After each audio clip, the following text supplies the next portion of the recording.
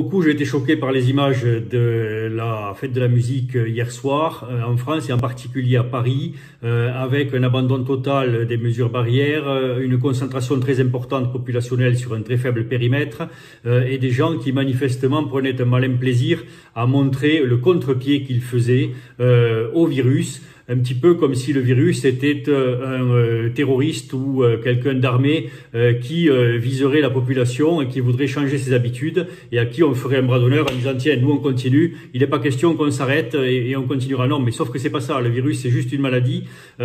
contre laquelle on lutte individuellement ou collectivement. On met les masques pour protéger l'autre et on met les masques aussi pour éviter que la maladie reprenne. Le virus est toujours parmi nous. Son terrain de jeu c'est la terre entière. Il y a pays où il est en train d'exploser, des pays où il réémerge, et chez nous, on se retrouve dans la même situation que en novembre, en décembre, avec une maladie qui est quiescente, mais qui évolue. On a euh, quelques 80 clusters sur le territoire national. On a des régions comme la région Occitanie où je me trouve, euh, la région Rhône-Alpes, Normandie, euh, la région Normandie, la région Rhône-Alpes, Aveyron,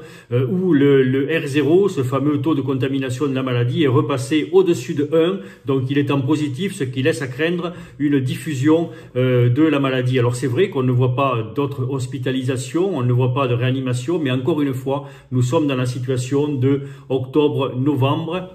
le virus ne trouve pas d'endroit pour exploser, mais si l'on continue euh, le genre de manifestation comme ce que l'on a fait hier, si l'on continue à euh, jouer les, euh, les résistants d'opérette sans mettre les, les, les, masques, alors là oui, il va trouver les moyens de circuler, surtout que après l'été, avec la pluie qui arrivera, les gens qui rentreront, or cette infection est une infection en les murs, mais on risque fort d'avoir là pour le coup une deuxième vague, et moi j'ai pas envie de revivre ça. À titre d'exemple, dans l'établissement où je me trouve, on met tous des masques, on continue à porter des masques en permanence et notre région n'a pas été impactée. Et pendant tout le temps du confinement, on a porté des masques et on continue à les porter et on oblige les gens qui rentrent dans l'établissement à porter des masques. Ça nous emmerde, ça nous met, on fait pas ça de gaieté de cœur, mais on le fait, on le fait pour vous protéger. Alors de grâce, euh, respectez euh, les, les mesures barrières, continuez à mettre des masques chaque fois que vous vous retrouvez en contact proche et prolongé. Salut à